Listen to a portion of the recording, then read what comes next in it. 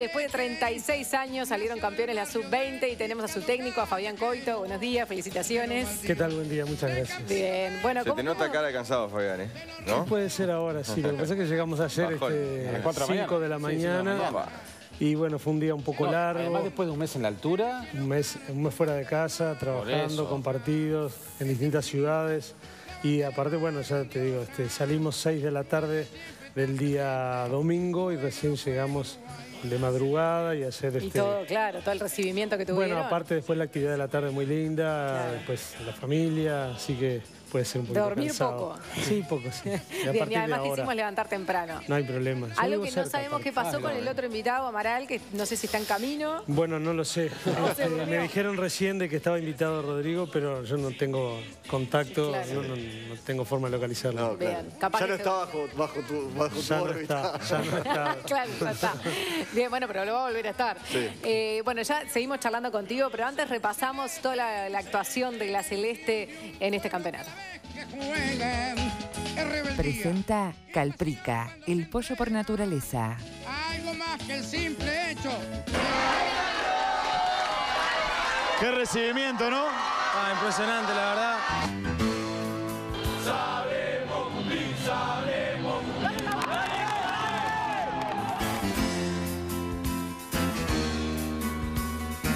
Algo histórico que, que va a quedar grabado siempre. como un cielo de verano,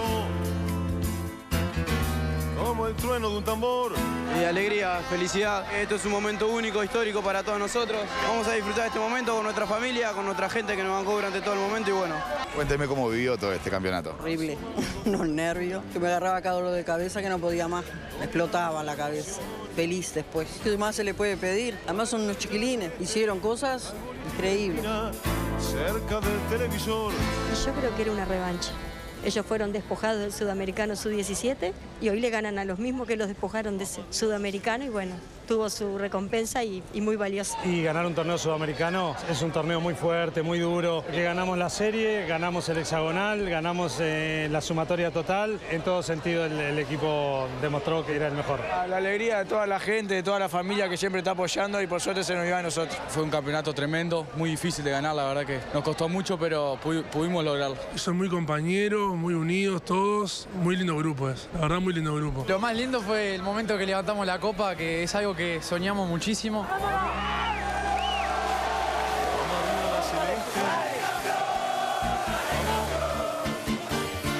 Desde el Cerro Bella Unión. La verdad muy contento, la felicidad de todo el grupo, de la familia, la verdad que siempre estuvo y muy contento. Creo que ni los papás ni ellos cayeron todavía. Cuando lleguen a tierra y vean van a, a darse cuenta de lo que lograron, ¿no? Y lo ganamos, pero en forma totalmente justificada.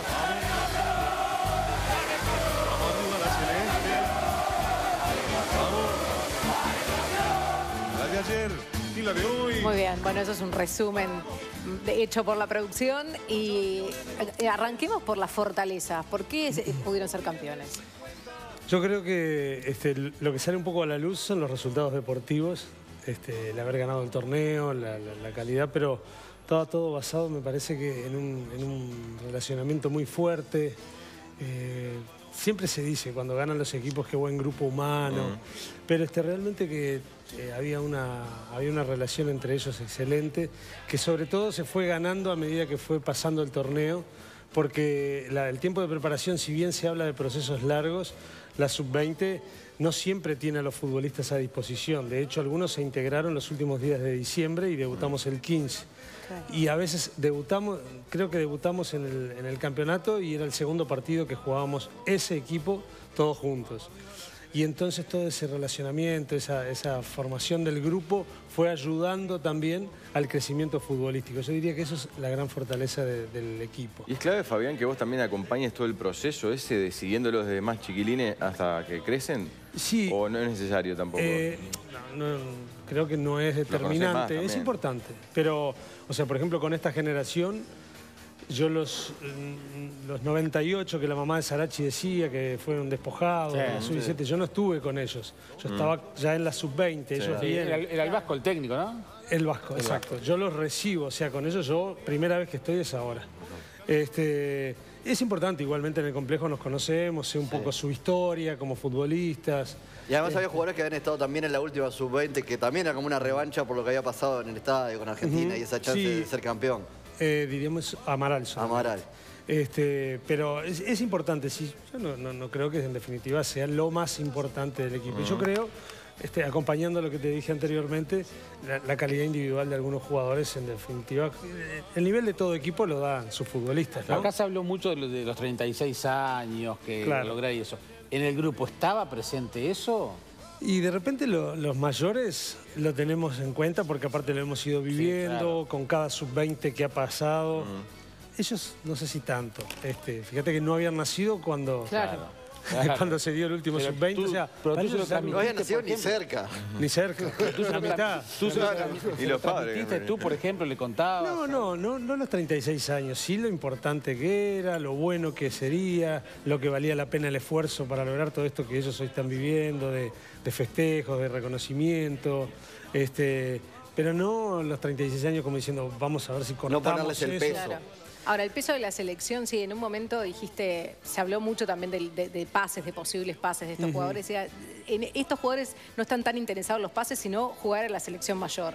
Eh, bueno, por ejemplo, lo que pasa es que se dio uno en el medio del torneo que fue de Santiago Bueno, que se va Sí. mañana para Barcelona. Entonces yo hablé con él y él me dijo, dice, mira, yo no sé mucho porque la verdad que les he pedido que no me dijeran mucha cosa porque quiero no desenfocarme mucho del grupo. Claro, Santiago claro. es un chiquilín excelente en todo sentido. Al Barcelona, aparte, ¿no? Sí, no, es que- Sí, sí, no. no sé cómo hizo para no, no enchufarse con eso, ¿no? Claro, Se- claro. debe Pero, eh, bueno, por ejemplo, un día le pregunté a Nicolás de la Cruz por, por ese rumor que había. Me dijo, "Bah, no sé nada, la verdad. Este, entonces yo lo veía bien en ese sentido. Dentro de lo que puede ser un chiquilín de 19 años, Claro. con toda su ilusión. Claro.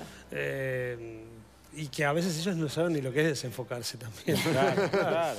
Claro, ¿no? ¿Y, y qué contacto tenían con los comentarios aquí en, en Uruguay? Porque también... Y, bueno, pero viste que las redes sociales Sí, hoy sí. Sí, es claro. tan impresionante. la- Claro, a que- diferencia que de tu yo época- no accedo a lo que ellos Claro. saben y se enteran. No, porque fue muy pendular la cosa. Al principio estábamos todos con muy, muy- mucho entusiasmo. El partido, el que se perdió, pegó fuerte. El penúltimo. El penúltimo. Sí, me imagino. Y, en- y- y claro, y mucha gente se fue para el otro lado, sí, ¿no? sí, sí, Entonces sí. ese tipo de cosas debe ser complicado. Bueno, ahí estuvimos dos días este, yo sé, fortaleciendo nuevamente a todo lo que era la parte anímica, espiritual del grupo, a la credibilidad en nosotros mismos, a renovar el convencimiento, a saber que seguía dependiendo de nosotros, este, a preparar el partido, porque a veces se nos pasa en los días, cuando hay partidos tan definitorios, hablando de la parte emocional y nos, olvidamos De lo deportivo. de lo deportivo. y Vos no te olvidaste porque hiciste seis cambios para ese No me partido. olvidé, no me olvidé porque justamente un poco la experiencia de torneos anteriores me hablaba de eso, que no podíamos desatender lo que era lo más importante, que era jugarlo bien para intentar ganarlo, con Pero te- todo lo que jugaste, rodeaba ¿no? el partido. Pues sí, hacerse el cambio. Eh, Bueno, si hubiera había- perdido, sacaste a Amaral, no tenés idea, No, coito, seguro, claro, yo lo sé, campeonato. supuesto, ¿no? Por supuesto que sí, pero Te salió yo perfecto. estaba seguro. Después, este, Ah, no sé lo que iba a pasar. ¿Qué porque le el resultado a. De la Cruz después que la picó en el penal contra Venezuela? Ese fue el primer partido, que ahí el la primer partido diferente este, todavía.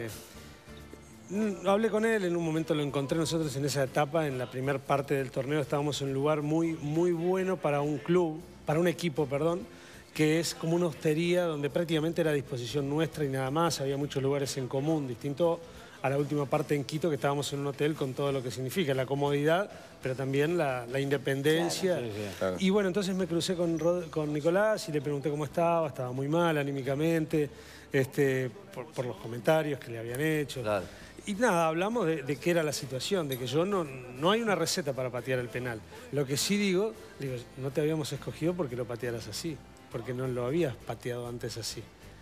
Este, vos lo pateabas como después lo pateó otro penal, este fuerte Mm. arriba, y no lo erraba. Y ahí decidió picarla. Y le digo, bueno, todo tiene que tener una razón. Claro. Picarla es un estilo y yo no me voy a meter porque. Este, pero tiene que haber una razón, que el golero se tiró al otro lado, que se queda parado, que vos lo conocés y él se tira y no. Claro. Este, igualmente yo hablé con un compañero de él, este, hablando de- de- del penal. Me dijo, no, dice, no, no, es un crack, dice, solo él lo, patea así, dice, yo no me hubiera animado. Y es un buen jugador de fútbol con el que yo hablé. Este, o sea que igualmente eh, fue más o menos bien tomado. Por los y- compañeros. Claro, y después Ah. le dieron un penal estando Maral en la cancha para que lo pateara de vuelta, lo convirtió, eso renovó un poco. Se sacó la mochila, claro. Claro, todo. Sí, dice que lo llamó el hermano, Carlos Sánchez, y que le dijo, yo te apoyo, pero no pates nunca más así. Me imagino. ¿Cuándo cambiaron el, el foco en salir campeones? ¿Cuando Y ya yo- estaba la clasificación encontrada o Yo creo que un sí. poquito antes? Yo creo que sí, o sea, se, se habla... Primero la serie, es como ¿no? un Paso a paso, sueño. claro. Nosotros lo hablamos antes de ir acá. Este, ¿Cuál era nuestra gran meta? Que era ganar el torneo. Porque cuando uno va, la verdad que siempre la Siempre intención ganar, es ganarlo. claro. Lo que pasa es que se va dando o no el torneo, Sí, claro. entonces uno se va enfocando en lo que tiene más posibilidades. Cuando perdés la chance de salir campeón, decís, bueno, apuntemos con todo a clasificar.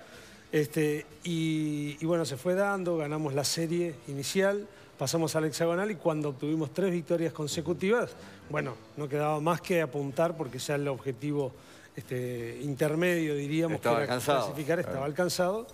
Y ahora era ganar el campeonato. Sí, sobre todo parecieron encaminados, por lo menos desde acá, después de esos dos grandes triunfos frente a los que siempre son Sí. los dos grandes rivales, que no terminaron siendo en el torneo Mm. los que definieron, pero ganarle a Argentina, ganar a claro. Brasil, arrancaba como Y diciendo, bueno, ahora no quién me para. No terminaron justamente porque creo que esos dos partidos a ellos los condicionaron mucho. Yo Claro. hablé ayer en el aeropuerto con, con el entrenador de Brasil, que es el ganador de los Juegos Olímpicos, y estuvimos hablando y le pregunté qué había pasado. Y él me dijo, dice, yo creo que le- eh, ellos empatan la primera fecha, Ecuador les empatan la hora, 2 De a 2. atrás, 2 a 2. Dice, y el partido de ustedes nos mató. Golpe. Ese Claro. fue un golpe muy fuerte para los chiquilines. Claro, el fixture para nosotros en el hexagonal fue terrible. Empezar Sí. Argentina, Brasil era. Bueno, peor no los papeles muy duros, pero Claro. si vos pasás eso también después ya te queda. Antes Brasil afuera de un Mundial Sub-20, el técnico este, pobre, lo habían linchado. Nunca más Bueno, eso no lo sé. Viene de ganar los Juegos Olímpicos, fueron Claro. vicecampeones del mundo en el torneo pasado que nos eliminaron a nosotros por penales. Este, hay antecedentes, pero Brasil es día a día. Claro. Claro. Una pregunta que está interesante para hacer es porque vos resaltaste mucho el último partido, que todo el mundo quedó eh, omnibulado, porque capaz que fue el que más vio la gente, ¿no? El de la actuación de Rodrigo Bentancur. Estamos Sí. hablando de un, un guacho que ya juega en Boca hace tiempo, ahora va a la Juventus. ¿Él, él es el que principal le dio el salto de calidad al plantel o el juego del, del- del cuadro? Yo creo que con él muchos compañeros encontraron confianza en un gran jugador, les transmitió mucha confianza. En los momentos difíciles él mantenía su tranquilidad. Yo se la doy a Bentancur y no la pierde. Yo creo que sí, yo creo que sí. Aparte es un chiquilín brillante. Fabián, Ah, un compañero el, el- otro día, el, el otro día en uno de los diarios se, mencionaba que muchos de estos, de estos jugadores son el recambio eh, que nos da tranquilidad a, a la selección uruguaya. ¿Tú ves que es así? ¿Ves el, el- el gran recambio para la selección mayor? Bueno, mi, mi visión no deja de ser la visión de, de un entrenador que no es el que decide, pero yo creo que hay jugadores que, que pueden, no en un corto inmediato plazo, algunos quizás sí. Bentancur en particular, porque es un 5 al que Uruguay no está acostumbrado y no tiene. en Bueno, eso, mayor. eso yo lo dije y yo lo aclaré con ellos porque yo no dije que sea, yo, yo les dije, yo no categorizo a los jugadores y menos en forma pública porque no me corresponde. Yo lo que quise decir en una entrevista que le daba nivel al equipo porque tenía un estilo que nuestros mediocampistas No suelen tener. No suelen En ese lugar de la cancha, por lo menos. ¿no? Pero por eso te pregunto si lo, lo ves insertándose en el proceso de Tavares en la Y mayor yo pienso ya. que sí, No, bueno, ya no, no, no lo sé, no lo puedo decir, ni lo sé, ni me corresponde. Yo pienso que sí, porque aparte, digo, no es una idea mía, está jugando en Boca Junior con 19 años, en un Boca Junior que está primero en el torneo argentino. Y lo o compró sea, la Juventus. Está bien, pero vas a hablar con Tavares, Tavares va a hablar no, contigo. hablamos en forma permanente y estoy seguro que él ha observado esta sub-20 con ojos. Con mucha atención. Por supuesto, ¿cómo no? Lo ha hecho rápido también con José María Jiménez, lo hizo muy rápido, subirlo de Totalmente, su 20 a primera. totalmente. Bien, vamos a recordar los festejos de ayer. Eh, pasearon por un- con un ómnibus turístico por todo el 18 y la gente salió a agradecerles y a festejar con ellos. Vamos a verlo. Bueno, ¿y cómo se vive? No, la verdad que muy contento, muy feliz por todo. La verdad que, que nada, un sentimiento enorme, mucha alegría, la verdad. Sí, por suerte se dio, la, al equipo y bueno, Costa Fernando campeón. ¿Cómo enojado? No, estaba un poco, más que nada tranquilo festejando el gol, pero con esa, un enojo por dentro porque no, no se me pero, pero tranquilo. Increíble, la verdad que la gente lo recibe así. Es increíble y es una satisfacción inmensa. Claro, Rogelio Nacional. Rocky, ¿cuántas patadas te habrá pegado?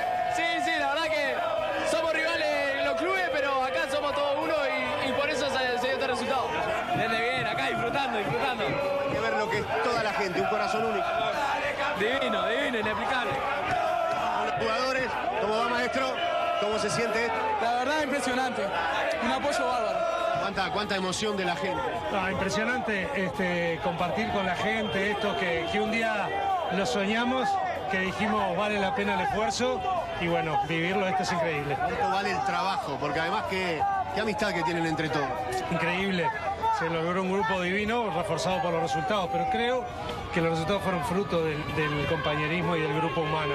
Y me encanta que vivan esto todos juntos, que festejen, que se abracen, que sean felices. Y que la gente se sume, ¿no? ¿Cuánto cambia el humor? Y por supuesto, porque el fútbol es parte de nuestra vida y cuando gana alguien ganamos todos.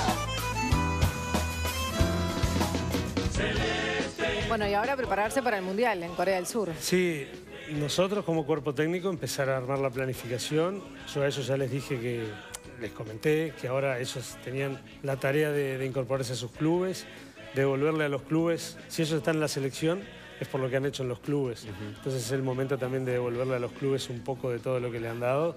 este, y bueno, dentro de un mes, un mes y algo, comenzaremos la preparación. Es en mayo, ¿no? Es el 20 del 20 de mayo al 11 de junio. Yo, la preparación más importante fue esto. Sí, claro. Claro. Eh, Todos estos partidos jugados juntos. Por este- supuesto, aparte...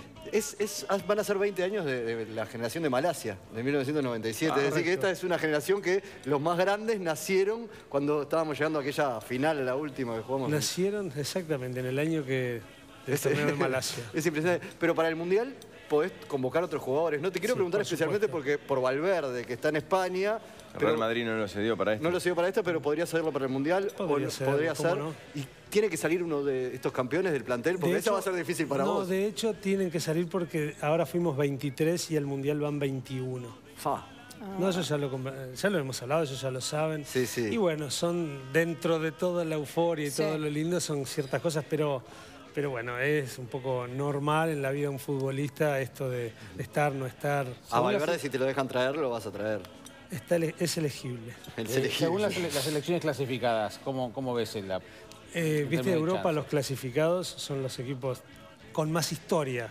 Acá Mm. Brasil no fue, que es Inglaterra, Francia, Portugal, Alemania eh, e Italia. Esas cinco selecciones son las representantes de Europa. A partir de esta semana sale la de CONCACAF, donde seguramente México y Estados Unidos Mm. van a estar.